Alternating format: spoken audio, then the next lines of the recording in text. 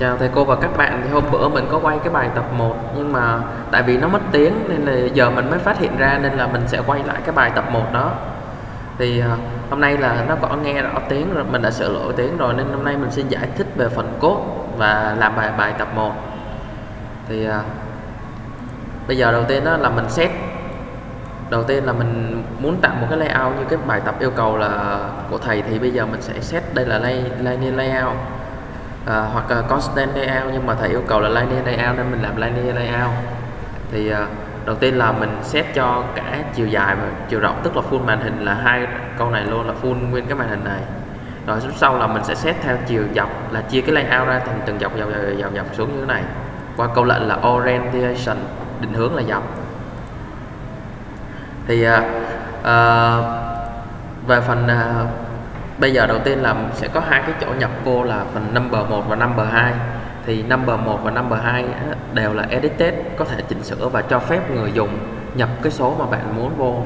Thì bây giờ thì ở edited thì đầu tiên mình sẽ khai báo cho mỗi mỗi một phần mỗi một cái mạng trong Android đều có cái phần địa chỉ á, nên là mình sẽ đặt cho cái edited number 1 này là ờ, uh, number 1 với độ dài là 238 thì à, bạn có thể viết được 240 40 cũng được thì nó sẽ dài ra.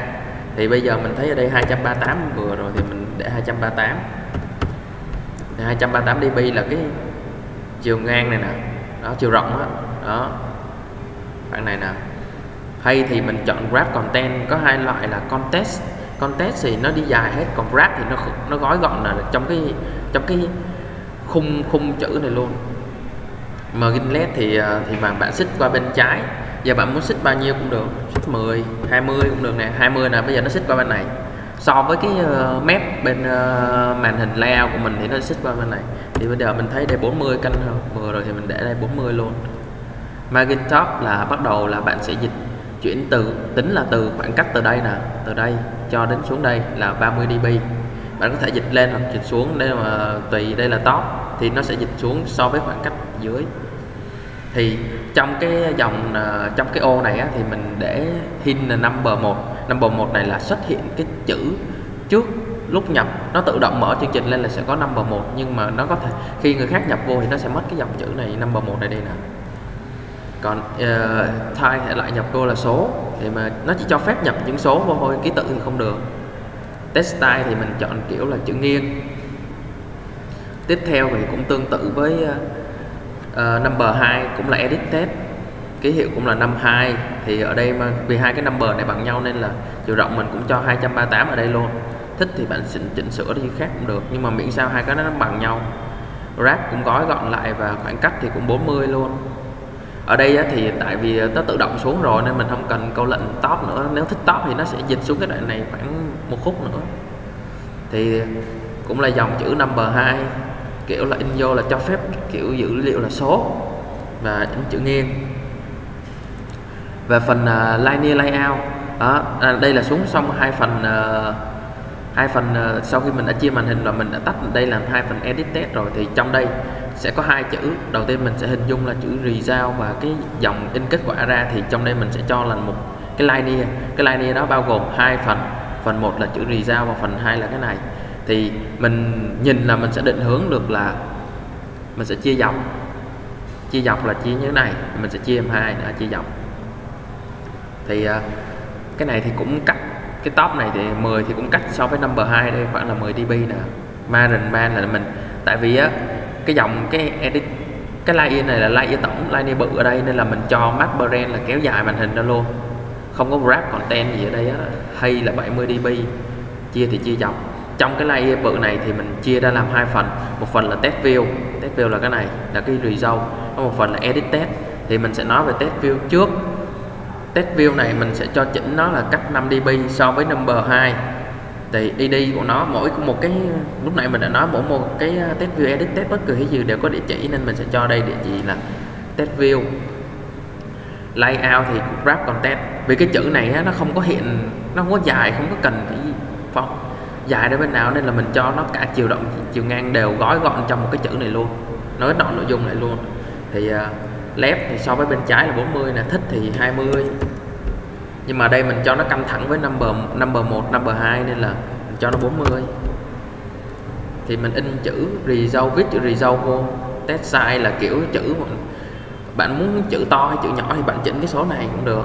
Còn test này là kiểu chữ in nghiên không thì thích à, in đậm thì là bold edit test thì ờ, edit test qua bên này là mình sẽ thiết lập edit test cũng có địa chỉ của nó.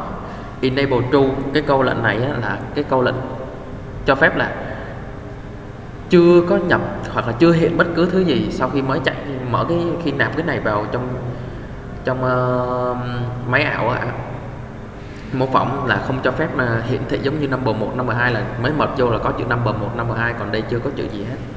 Đó đây là hay width thì mình cho 2, 2, 220 bạn thích 200 là nó khác à hẹp lại 20 đó. còn à, hay thì mình wrap mình vẫn gói gọn trong cái khung nội dung này lại thôi mình chỉ chia cái chiều ngang nãy giờ là mình đang chia chiều ngang.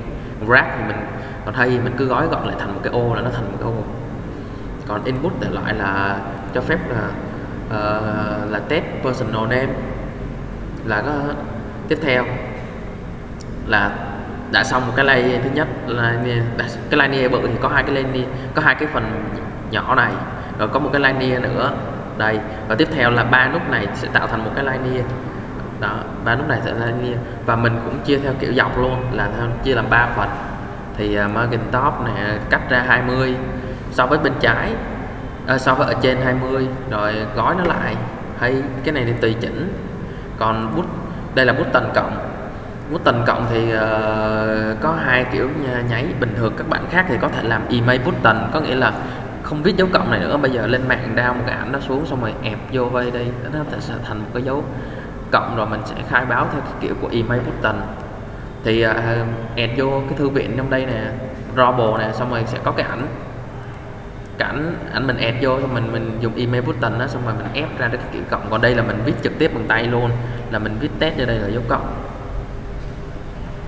thì uh, mỗi id dấu cộng thì cũng có id của dấu cộng. Là mình đặt là cộng test size 30 background màu nền màu nền mình chọn màu xanh. Thì ờ, uh, các bạn muốn màu gì cũng được. Khi mà gõ mấy test test khi mà bạn gõ bạn đầu tiên bạn nên gõ là khác 111 khác 111 1 1 đó đến khi nào nó xuất hiện màu đen cái mình bấm vô bấm vô bấm vô cái nếu mà bạn muốn chọn màu xanh đúng không? Kéo cái này lên màu xanh xanh siêu sẵn luôn. Đó, đó là thành màu xanh. Thấy rồi xanh có nhiều loại xanh một một xanh gì miễn màu nào bạn chọn được cứ vô cứ vỏ test color này là cái dấu cộng. Nó màu đỏ đây là màu đỏ. Còn chiều cao chiều rộng thì mình gói gọn trong cái chữ này vì chia ba phần nên mình không thể nào để cho nó bao nhiêu db db nó sẽ ra hết cái ờ, layout thứ ba này của mình trong cái layout lớn thì có layout nhỏ đây tương tự thì cho cái nút nhấn uh, trừ thì cũng bắt ra cộng trừ rồi cũng test trừ viết chữ trừ ra viết dấu trừ ra. Button thì cũng vậy cũng chia dấu dấu chia ra. À dấu chia này không có trên laptop thì mình ờ, lên mạng mình copy cái, cái ký tự chia cái xong mình pass xuống đây rồi xong cái lay, layout này rồi nha. Xong cái lay, layout gồm có ba cái nút nhấn này. Thì tiếp theo sẽ là một cái layer thứ tư. À, à, tiếp theo sẽ là một cái button. Một cái button. Một cái button chứ chưa cần thiết phải là một cái layout. Là mình sẽ mình sẽ uh, viết chữ random trên đây. Thì button này cũng giống như những cái button này thôi. Thì cũng test size width wrap content. Lý do ở đây mình có wrap 30 dB nè. Là tại vì cái chữ random này muốn chữ bự mà nó muốn bao là khung lớn này thì mình sẽ viết là 305 còn nếu mà muốn cái chữ random này mà cái này nè nó ra dài ra ra, ra khỏi đây luôn thì bạn gõ wrap content nè. Ví dụ như mình gõ wrap content cho bạn xem.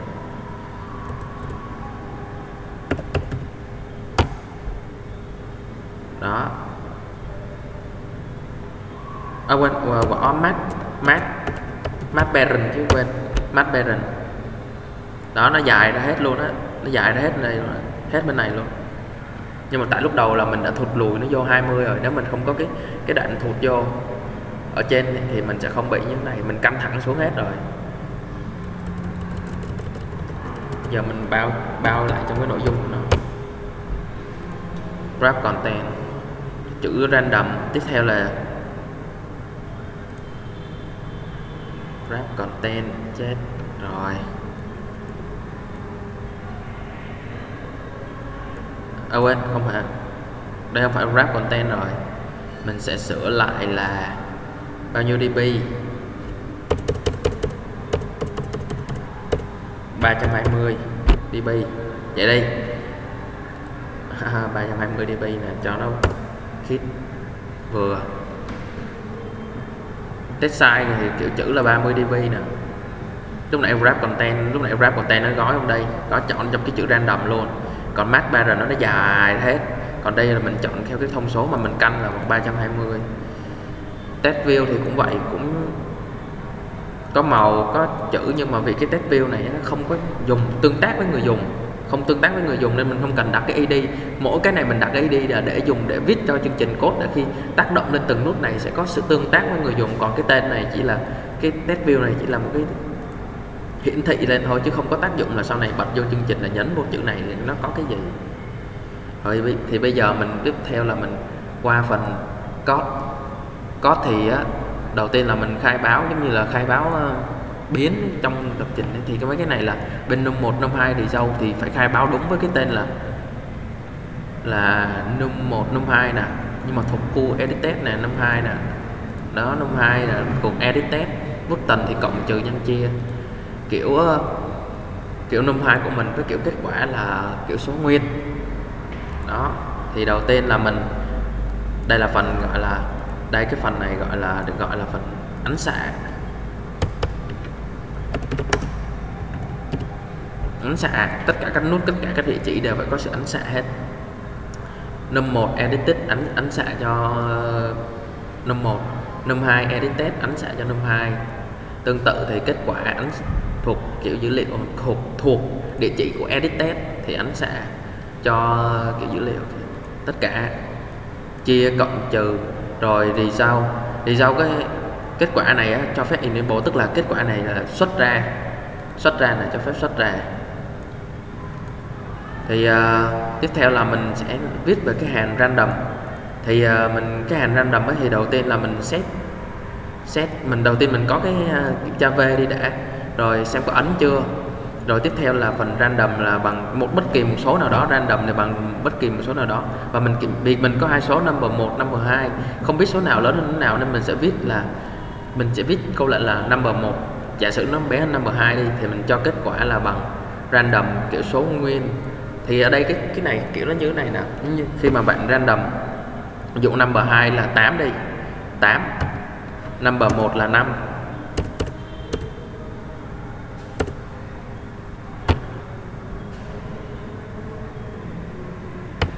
à, number 2 là 8 đi number 1 là 5 thì cái kết quả trong đây sẽ là 3 3 cộng với 5 là 8 nó sẽ lấy bất kỳ khoảng nào trong khoảng từ khoảng ờ, 5 đến 8 thì ờ, ngược lại thì bạn sẽ lấy ngược lại thì bạn sẽ lấy uh, random trong cái kiểu từ năm number 1 trừ number 2 nếu number 1 lớn hơn em này là nếu number 1 lớn hơn number 2 thì nó cứ vậy thôi. Kết quả này là mình xuất ra màn hình và ép kiểu dữ liệu là từ số sang chuỗi. Xuất ra màn hình và ép kiểu dữ liệu từ số sang chuỗi qua câu lệnh này. Tiếp theo mình sẽ kiểm tra xem nút kiểm tra xem các chương trình cộng trừ nhân chia này có được nhánh không. Thì à, có cái biến nhánh đây. V. Nếu mà nhánh dấu cộng thì uh, chương trình 51 cộng 52 ép ra của ép kiểu từ số sang chuỗi đây là ép số sang chuỗi nè.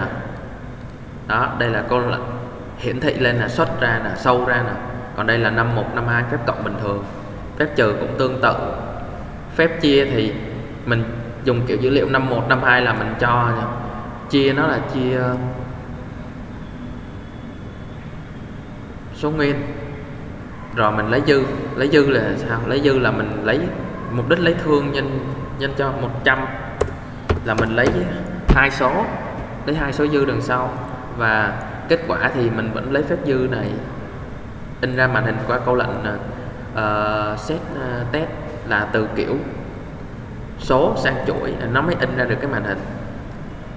Thì uh, trước đó thì mấy cái phần mà năm 1 năm 2 này thì mình cũng phải khai báo nó từ kiểu đây là mạng khai báo từ chuỗi nè sang từ chuỗi.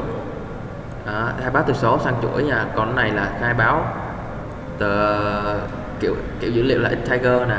Để có cho phép tính toán năm 1 năm 2 nó tính toán được. Thì à, mình đã build cái này rồi.